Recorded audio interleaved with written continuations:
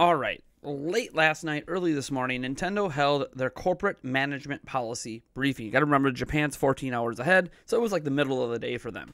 Uh, and they did this digitally to investors. Uh, and we have their slideshow. Uh, there, there's nothing that special on their slideshow, uh, but uh, during the presentation, obviously, they didn't just look at the slideshow and just show people slides. If that was the case, they wouldn't even need to have the briefing. Uh, Shuntaro Furukawa was on camera talking to investors about a lot of things at Nintendo. And the coolest thing, in my opinion, that he talked about, the coolest thing uh, is about, well, the future of the company and the future of Switch. Because uh, Shuntaro Furukawa actually dabbled on what their plans are for the future of Switch. And this is interesting because some of the words he said are things that we haven't heard from Nintendo in 20 years. I'm not even kidding. By the way, before we get into all this, I got to tell you about our two giveaways. We were giving away three copies of Super Mario 3D All Stars. To enter that, go to the gleam.io link down in the description. Uh, also, we are giving away a Switch Lite with two second place winners winning a Switch game of choice to, to win that. Uh, go down in the description. There's a laundry list of ways to enter, including subscribing to the channel. So check that out. So I'm getting this from David Gibson, who attended. Uh, he often does uh, little quick tweeting translations of, of things that are said during the meeting. All right. So David Gibson said, R&D investment previously used to look at conventional tech that enabled a lower price and appealed to users, but now cutting edge technology.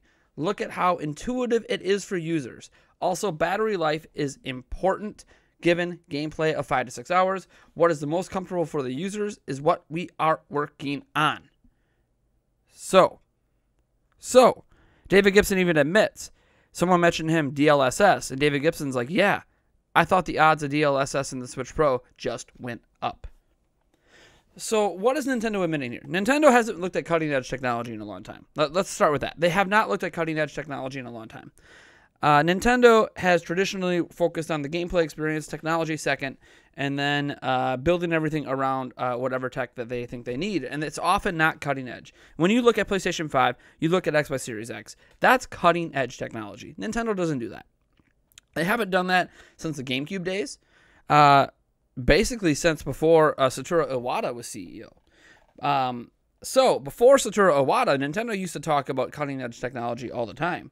After Satoru Iwata, they didn't. Now we have Shuntaro Furukawa saying, "Look, we're looking at cutting edge technology. We're going to see how intuitive it is for users, and the battery life's important because they want gameplay around five to six hours." So what Nintendo's admitting is them likely with Nvidia. We, we can't presume that it is Nvidia, but you know we know they have a 10-year partnership with them. So likely with Nvidia, they're likely looking at cutting-edge tech for a new Switch. We're, we're talking Volta Tech. We're talking they just acquired ARM, so the latest ARM processors. And the thing is, that technology, despite being so much more powerful, is also a lot more power efficient than the Tegra X1. So if they're able to take next gen or well, I guess it's almost current gen at this point, um, technology, and shrink it and, and make a new chipset that works. Nintendo's looking at it. They want it. They, they want the five to six hours of gameplay, but they also want cutting edge tech. They want to beef up their Switch. They want DLSS 2.0 taking their games to 4K on modern TVs because 4K TVs are now affordable. Nintendo didn't dive into the, for, the, no, the HD pool back with the Wii because HD TVs were still expensive at the time, back in 2005, 2006, right? But they quickly became affordable. Well, 4K TVs are already affordable. Anyone who replaces a TV in their home likely is buying a 4K TV because you can get them for like $300. They're, they're dirt cheap. Doesn't mean they're the greatest and doesn't mean you should use them, but I mean, they, they are dirt cheap, right? So, what Nintendo's doing is they are deciding that latest and greatest tech is important they they do stress throughout the thing, you know, that they're, they're all about innovation and, and, and giving people what they don't expect. And yes, an upgraded next gen Switch with, with better technology is kind of expected, but they also mentioned that one thing that's happening is the Switch is different from everybody else because you could take it with you. It sounds like Nintendo's going to be doing the Switch thing for a while, a decade plus. It, it, it sounds like that that's the plan, a, a decade plus of Switch, and because of that, I think they are looking at the latest and greatest technology from NVIDIA. I think they're working hand in hand with NVIDIA for a new chip, a new chipset, and a new Switch that they can release at a semi-affordable price. I don't think we're going to see anything much above 350. I think the three the 299 um 349 is kind of the ceiling Nintendo sees for releasing a system, so they're not going to release another one until the technology is affordable enough to the point that end consumers can get it for a reasonable price. But R&D investment previously used to look at only conventional tech that enabled lower price and appeal to users, but now they're looking at cutting edge. Like literally, they used to look at just budget, budget, budget. Now they're looking at cutting edge technology.